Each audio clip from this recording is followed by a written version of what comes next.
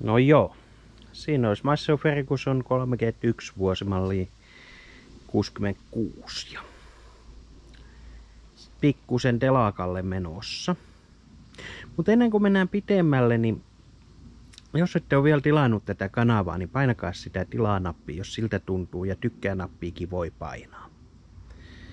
Koitetaan saada se tuhannen tilaajaa sitten täyteen, niin näitä videoja on kiva tehdä.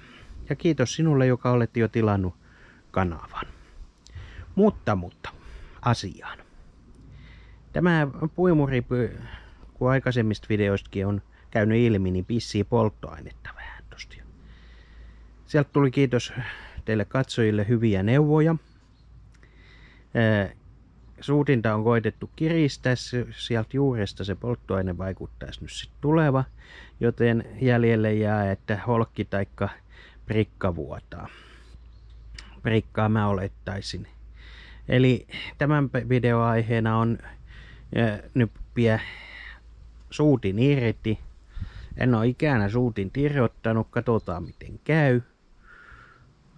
Eiköhän se siitä onnistu, mutta voi siinä olla erinäköisiä askareita. Siinä olisi vähän työkaluja katsottuna. Väkivaltatyökaluita ja muita. Tuo suutin tuosta. Varmaan toi täytyy ottaa irti tosta ja sitten toi yläputki. Taipuuko tämä sen verran, että sen saisi tosta välisnypästy pois. En tiedä vai pitääkö ottaa kauempaakin auki. Sitten tuo auki tuosta. Ja sitten noit pois ja nykästä ylös. En ole ikään tämmöistä tehnyt, mutta kokeillaan. Ton vois muuten napata pois tieltä. Se on vaan suoja, ehkä.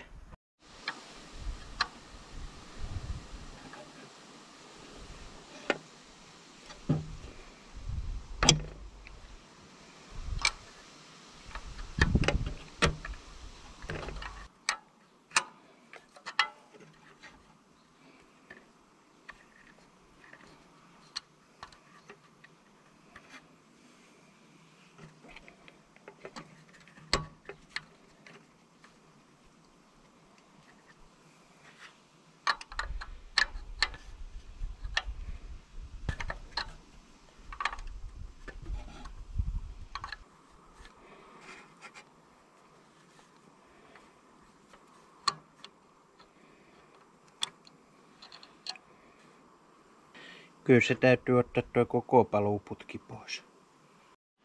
Siinä on putki irti, siellä näyttää sitten olevan alapuolella tämmöiset aluslevyt. Kai täytyy semmoisetkin uudet hankkia. Niin ei ainakaan vuoda, mutta sitten täytyy jatkaa tuota auki repimistä.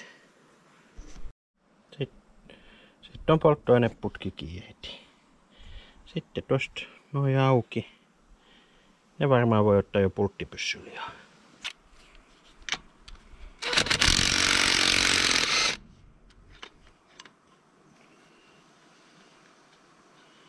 Se aukes.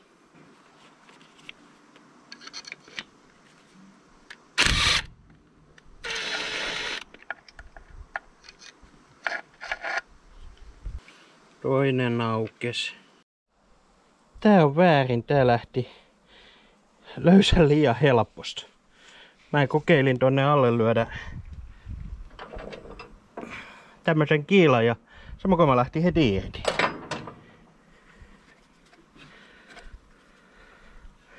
Se nyt... Se lähtee sit ihan käsi. Siis se on. Sitten tutkitaan lähemmin, että mitä se on syönyt. Joo, siinä on suuttimereikä. Aika likainen on. Täytyy tutkia sitä putsata ja sitten katsotaan toi suutin. Mä olisin kuvitellut, että toi läpi olisi paljon pitempi. Kun mä olen muita Perkinsin koneja nähnyt, mutta ne on kyllä sit... Ne ei ole esikammiokone niin kuin tämä. En ole ennen tämän tyyppisen moottorin perehtynyt, niin tää on hiukan uutta. Tuossa tuo nyt sit suutiin on ilma sen kummempi puhdistamisia. Täytyy putsata sitä seuraavaksi ja sitten lähteä sen kanssa jonkun asiantuntijan luo.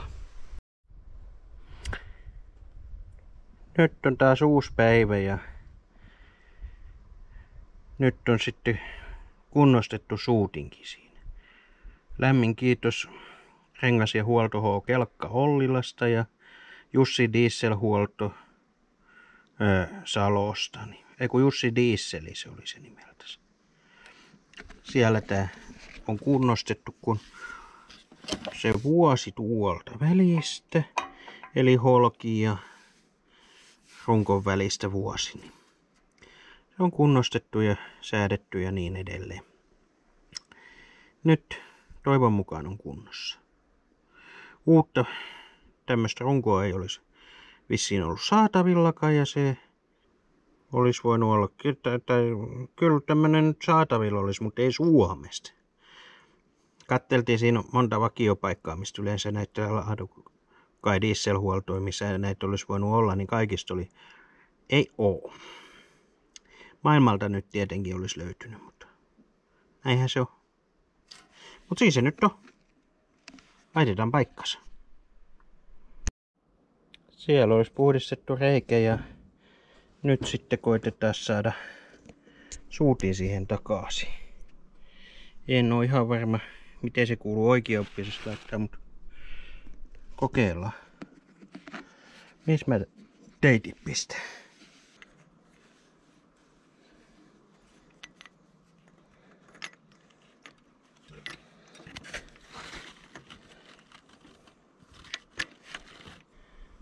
Ei, kun tuo aluslevy on väärinpäin. Mä luulin, että siinä ei ole mitään merkitystä. Pohjaprekkakin on kohdalla siellä.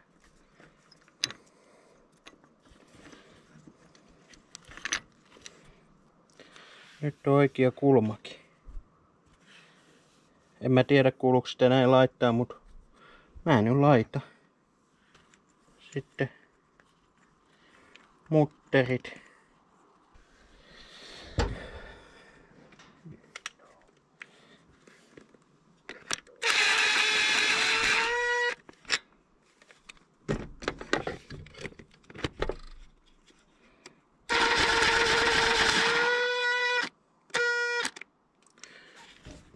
Kun tasaisesti kuulemma pitää pistää, niin eikö se näin mene tasaisesti?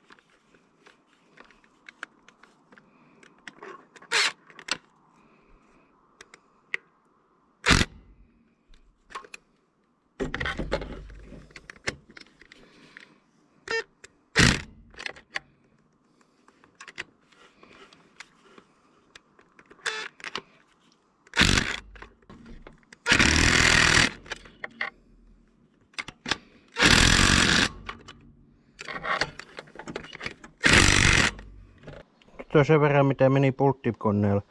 Monko täytyy varmaan hakea momenttia vai vielä ja katsoa sen kanssa.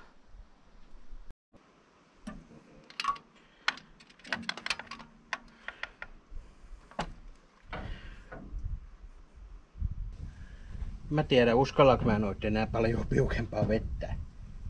Ihan niin kuin se antaisi jostain myöten. Ei toi vieläkään momentissa, mutta kun mun mielestä toi antaa jostain noin kiinnityspullo jenkatapit myöten, koska ei se tunnu menevän siis pysyvästi piukkaa ollenkaan. Outoa. Ja paljon syvemmällä tuo jenkat on mitä tuossa viereisessä. En tiedä mikä tää juttu on, mutta kokeillaan jos se tuolla nyt pitäisi. Sitten pistetään polttoaineputke kiinni.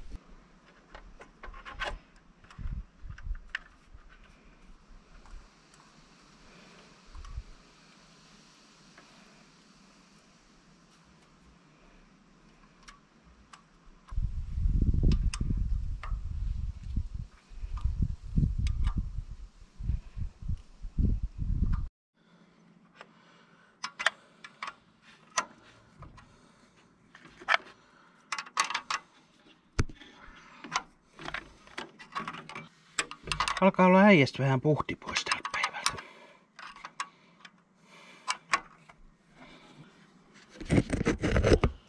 Sitten vielä toi. Aha. Olisiko se sit toi?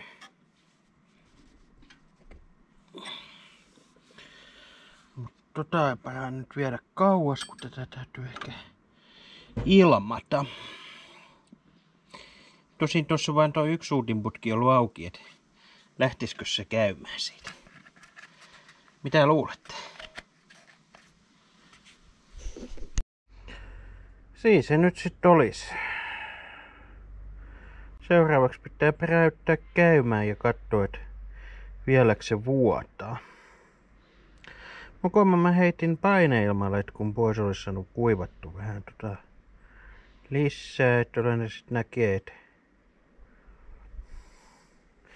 vieläkö se vuotaa.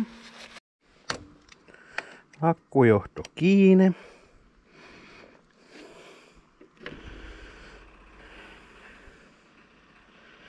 Polttoainepumppu lähti käymään.